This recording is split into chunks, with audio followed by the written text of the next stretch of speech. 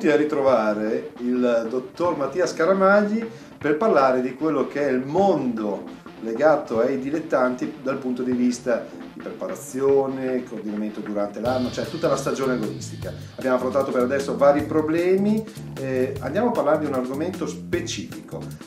Andiamo sull'allenamento aerobico. Per allenamento aerobico è l'allenamento diciamo di corsa, chiamiamolo tale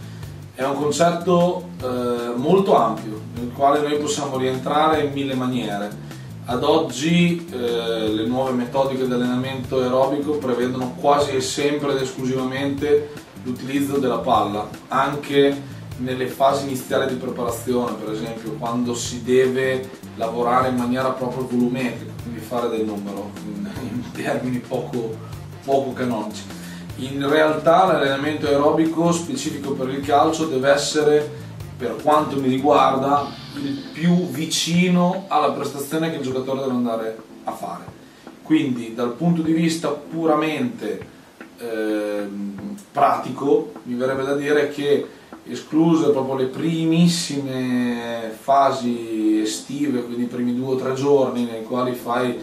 delle, delle variazioni comunque abbastanza lunghe, Ehm, dopo si deve dividere per ruoli. Eh, la cosa migliore sarebbe per esempio fare dei test in maniera molto analitica che nei dilettanti è fondamentalmente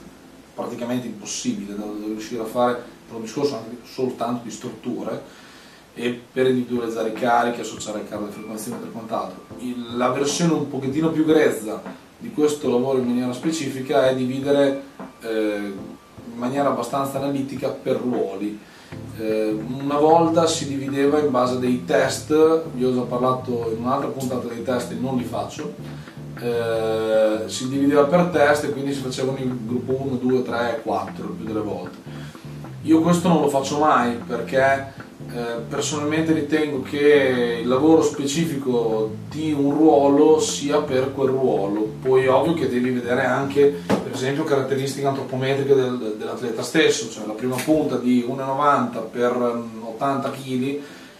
farà fatica a tenere lo stesso ruolo della stessa prima punta che però magari è un rapinatore d'aria ed è piccolino, rapido e magrino, però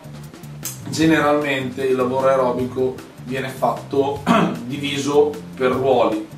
come lo concepisco io. Eh, in generale, eh, il più delle volte il lavoro aerobico deve essere mantenuto durante l'anno. Eh, altro concetto un pochettino arcaico, eh, i grandi lavori di preparazione, le tre settimane in cui la gente si fermava a un lato del campo a vomitare e poi dopo alle, via, riscaldamento partitina per quattro mesi fino a quando non si arrivava alla pausa invernale altro a fondo schiena, blu. In verità eh, gli impegni anche nel mondo dei dilettanti già dall'estate diventano attaccati perché noi iniziamo bene o male nel 16 di agosto e la prima di Coppa ce l'ha il 23, quindi lavori 7 giorni, 6 perché un giorno glielo devi dare libero altrimenti si separano tutte le mogli dalle morose eh, e lavori sei giorni, poi dopo è la prima di campionato, è la prima di coppa, scusa. Il più delle volte mh, mm, non è tanto un discorso di interesse o non interessa la coppa, in verità la coppa è la prima volta in cui rodi la squadra e se hai dei carichi molto alti hai un'incidenza di rischio di infortunio altissimo. Allora l'ultima cosa che si vuole è imballare i ragazzi eh, portarli alla partita che comunque è un livello agonistico più alto, l'impegno, la carica, la fotta, la prima partita ufficiale, farsi vedere, ti porta a, fa, a farli andare e poi dopo rischi che affaticamento, contratture, se va bene e, che, poi qualcos'altro anche di peggio. Quindi secondo me bisogna stare un attimo ridotti, ecco, insomma, avere una cognizione di causa. Cosa bisogna fare invece per allenare la forza? Per allenare la forza eh, mi attacco alla tua domanda perché per prima cosa do- faccio una premessa, bisogna vedere quando iniziare a lavorare la forza. Cioè la forza personalmente io la vedo in fase iniziale del campionato, comunque del, degli allenamenti,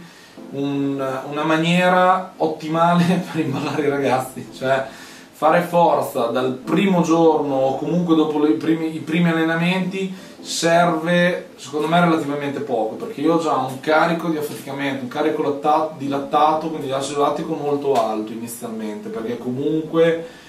eh, non tutti fanno il programmino che gli dai prima dell'inizio della preparazione, chi arriva in benzina, cioè ci sono una serie di, di fattori. Iniziare a lavorare la forza da subito io non lo ritengo mm, opportuno e corretto, cioè abbiamo otto mesi di attività per poi dopo iniziare ad andare a lavorare la forza, quindi in maniera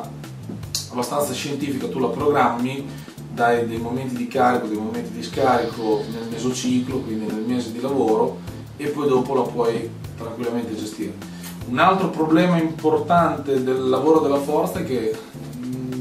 sfido a trovare una società dilettantistica che abbia una struttura per poter avere una palestra. Quindi la forza la devi gestire il più delle volte contro la, contro la gravità. Cioè, l'unica forza che noi possiamo andare ad opporci è la forza di gravità, perché mh, inventarsi il bilanciere che magari ha tre dita di ruggine perché negli anni 80 dove iniziavano a fare i primi lavori di pliometria, quindi balzi associati ai bilancieri e quant'altro, secondo me lascia il tempo che trova. La forza tu la lavori bene o in palestra o altrimenti andando a lavorare a carico naturale. Come a carico naturale? Eh, sfruttando, ripeto, la forza di gravità, quindi eh, i gradoni della tribuna non da fare in balzo, ma facendoli in accosciate, in accosciate lente, a salire o a scendere, perché se io salgo ho una resistenza di, poniamo il caso, 10, se scendo ho una resistenza di 100, perché devo andare a contrastare anche il mio peso corporeo e la forza di gravità e faccio lavorare il muscolo non in accorciamento ma in allungamento, quindi in maniera specifica non lavoro in maniera concentrica ma in eccentrica